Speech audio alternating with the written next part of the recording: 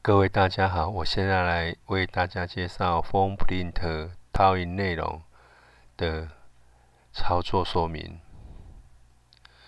我们接续上一个教学，上一个我们已经把邮局的取款单把它新增进来。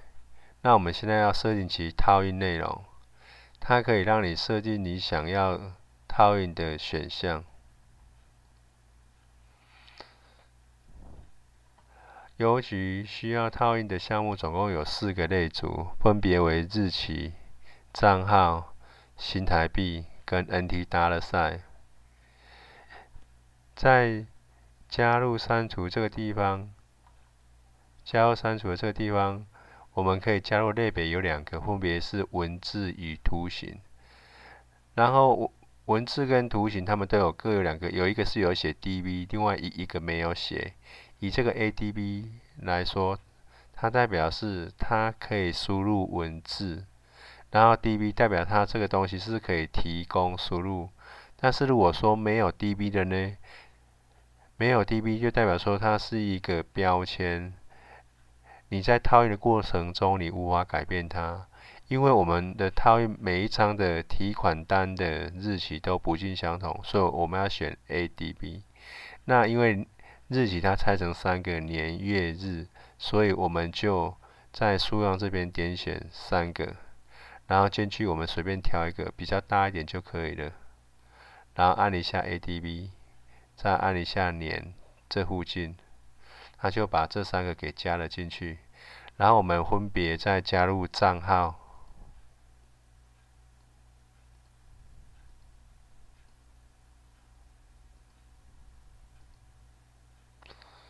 然后加入新台币，加了 NT Dollar。加入完毕之后，我们现在开始来修改它的一些内容。刚才我们下载的第一个年月日，我们把显示的名称改为日期，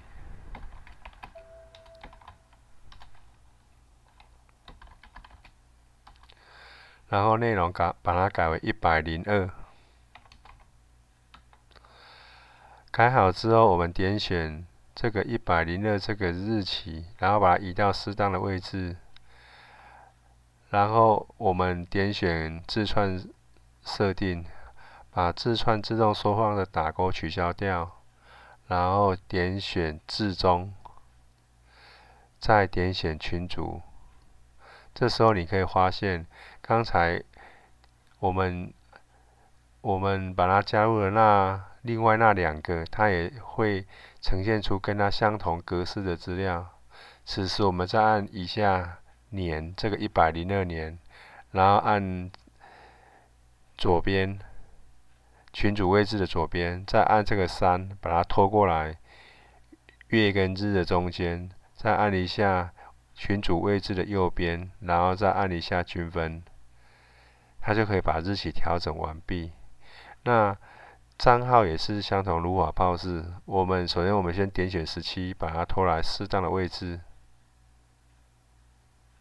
然后把字串自动缩放打勾取消，然后点选自动对齐，在这边内容输入零，然后再按群组，它就会把账号刚才加入了十四个账号的这个内容全部都把它改为零。然后我们点选最左边的这一个，我们把它设置它的，哎，最右边的这个把它设置成右边，然后最左边的这个把它调整到适当的位置，再按左边，然后按均分。我们发现说账号已经帮我们已经帮账号调整完毕。然后第一个，因为大家等一下会有。一些作用，说我们要把第一个的显示名称把它改成账号。这个显示名称以后会在输入存档的时候都会用到，所以要取一个你容易记住的的名称。输入完毕之后要记得按 Enter，这样资料才会存入到资料库里面。然后我们再来调整新台币。新台币我们譬如说我们先将显示名称先改为新台币，然后按 Enter，内容把它改为一千元，按 Enter，在我们把这个一千元的字把它调整为十六，然后把它拖拉到适当的高高度，这样子就可以了。再我们来调整这个。金额小写 NT 大了，我们把它显示名称把它打 NT 大了，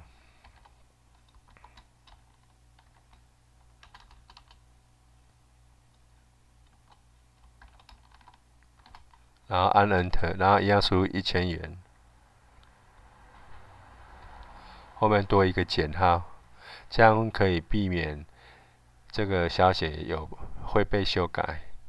输入完毕之后，再按 Enter，我们就可以把它存档起来。那表格内容的设定就介绍到这边，谢谢。